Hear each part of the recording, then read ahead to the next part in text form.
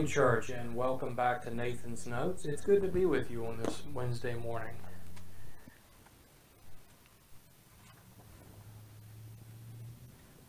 Well, just lost the one I was going to talk about, so let's do this one.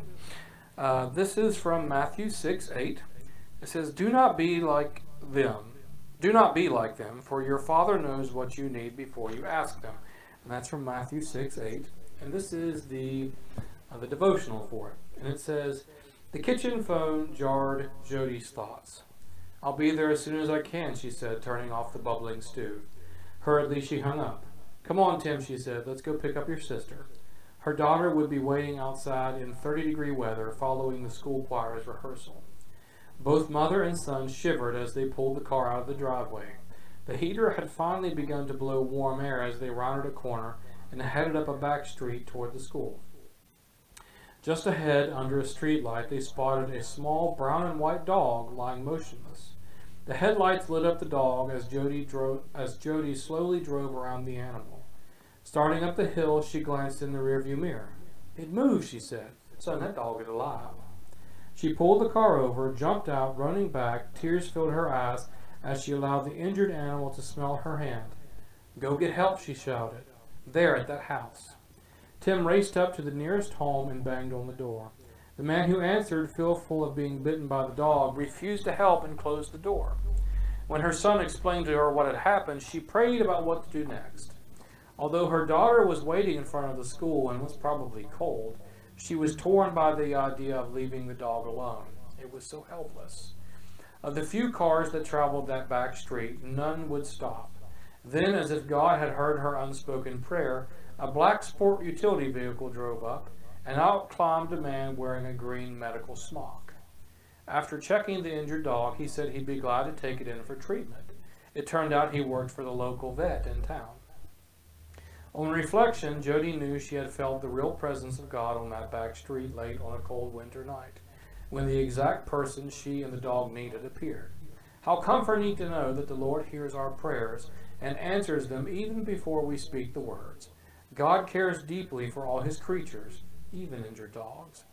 And the quote from today is from Andrew Murray, and it says, Beware in your prayer above everything of limiting God, not only by unbelief, but by fancying that you don't know what he can do.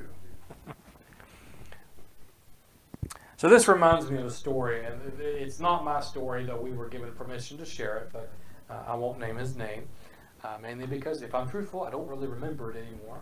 But this was a story that was shared when a bunch of us pastors get together. And it, by the way, just in case you don't know that if you take a bunch of pastors and put them together, especially around food, they're going to do what they call talk for a little bit.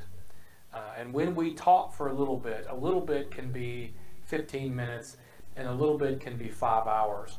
But the great thing is, is that when pastors talk for a little bit, the 15 minutes and the five hours feels about feels like it's about the same amount of time. So this is a story that came out of that. So uh, my friend was at a family reunion. I may have told this story before, but I don't remember and the kids were out playing in the heat of the day, and they were playing with water guns and things like that. And he had, I believe it was a niece, who was four, five, six years old, something like that, who'd been out playing and uh, came inside and told her mother that she was tired. And my friend and I were going through licensing school at this time, so we were brand new uh, to this whole idea of being pastors. And uh, the family reunion went on and on, and the little girl had just taken a long nap on the couch. And when it came time to leave, uh, they went to wake the little girl up on the couch, and they could not. And they yelled and they shook her and they put cold water on her, and she would not wake up. And somebody said, We should probably call 911. And somebody said, Well, you know, I'll call him, uh, I'll call him Bob. Bob's here. Bob, why don't you say a prayer for us? And Bob admitted to me you know, it, it kind of shamed him that the idea of praying about the situation never really popped in his head. And he goes, I didn't, I didn't really feel like praying. I'm thinking we should really call 911 about this situation. And he goes, but you know, I'm, I'm a newly, newly minted pastor. Uh, this is what I'm supposed to do. He goes, so he goes, I kind of just rambled off this prayer of Lord, you know, we don't know what's going on, but We pray that you just do something to help her and, you know, in your power for your glory. Amen. He goes, and I wasn't expecting anything. I was trying to get the prayer over with so that we could call the ambulance. And he goes, you know, the moment I said amen, the girl woke up. And it's, he goes, out of everybody else, I was the one that was stunned the most because I didn't expect anything to happen. And of course, the girl was taken to the hospital and everything was fine. They don't know what it was, but he said, it's amazing to understand sometimes that God works in such powerful ways that even when we may not believe that anything good can come out of this, God still works. The little girl woke up. Everything was fine. Even though the prayer was a hurried prayer just because it felt like it was a requirement. Sometimes I think in our prayer life, like that quote says, we can limit God. Uh, there's a series of books that I've read and listened to over and over again.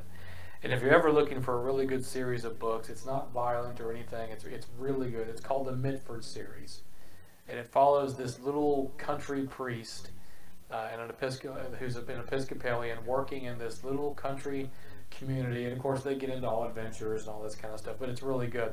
But he always says with his congregation, when they come to him with a problem, then let's pray the prayer that never fails.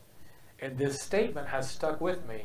And the prayer that we can always pray that never fails is this Lord, your will be done.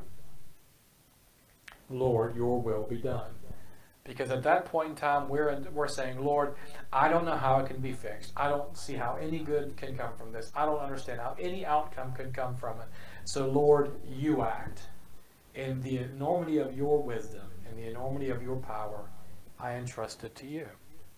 So when it comes to our prayer life, sometimes I, I know, especially with you know the year that shall not be named and everything that's going on, that sometimes we can go, I don't even know if God hears my prayers anymore. Can I say that maybe we, have been limiting God by how we've been asking? Can I encourage you simply say this?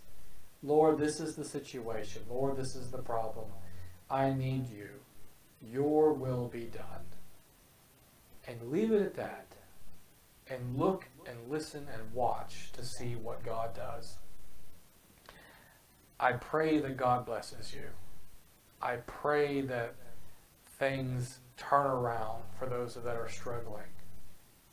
So let us pray. Heavenly Father, I know that there are those who are struggling. Lord, I know that there are those who have health issues, there's financial issues, there's, there's all these different things that are going on. Father, we just lift them up to you and say, Lord, your will be done. Act in ways we can't even begin to imagine in the enormity of your wisdom, your will be done. This day we ask your blessings upon us. Use us where you see fit. But ultimately, Lord, your will be done. In Jesus Christ we pray. Amen. Bless you, church.